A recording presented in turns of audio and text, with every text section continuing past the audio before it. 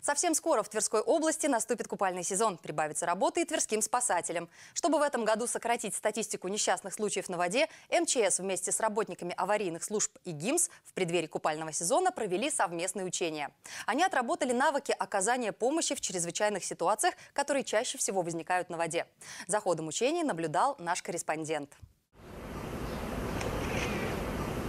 Выпал из лодки, лодка перевернулась. Типичная ситуация, которая может возникнуть на воде. Еще в топе списка чрезвычайных ситуаций неудачные прыжки в реку и попытки нырнуть поглубже. И большинство этих случаев приходится именно на летний период. А потому горячий сезон наступает не только для отдыхающих, но и для спасателей, которые должны быть во всеоружии, чтобы в случае возникновения опасной ситуации прийти, а точнее приплыть на помощь.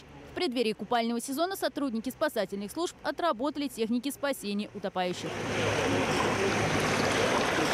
Подобные учения спасатели проводят два раза в год – осенью и весной перед открытием купального сезона. Они отрабатывают такие навыки, как спасение людей при падении с водного мотоцикла, в случае, если человек утонул или же выпал из лодки.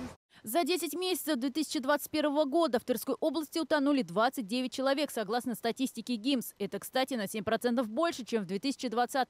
И больше половины трагедий произошли из-за невнимательности и беспечности самих отдыхающих. Чаще гибель на воде – это купающиеся люди, особенно в нетрезвом виде. В неустановленных местах, а не там, где расположены пляжи, где обследовано дно, где есть спасатели и присутствует народ, даже э, очевидцы иногда э, окажут помощь.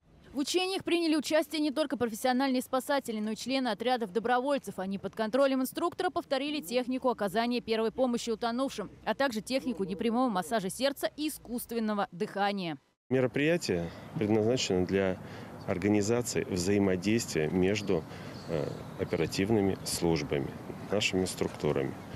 Порядок наших действий при оказании помощи людям на воде. Добровольные спасатели, потом пожарные части привлекаются, подразделение центра ГИМС. Сотрудники МЧС и ГИМС еще раз напоминают, что не лучшая идея будет после бурного застолья садиться за руль водной техники. Также отправляясь покорять речные просторы на лодках или катерах, стоит надеть спасательный жилет. За период навигации 2021 года сотрудниками ГИМС было выявлено около тысячи различных нарушений судоводителей. И самое частое как раз отсутствие этого самого аксессуара, который зачастую является шансом на спасение в случае чрезвычайной ситуации. Кстати, за отсутствие его штраф от 15 до 20 тысяч рублей. Но ведь жизнь и здоровье гораздо дороже денег.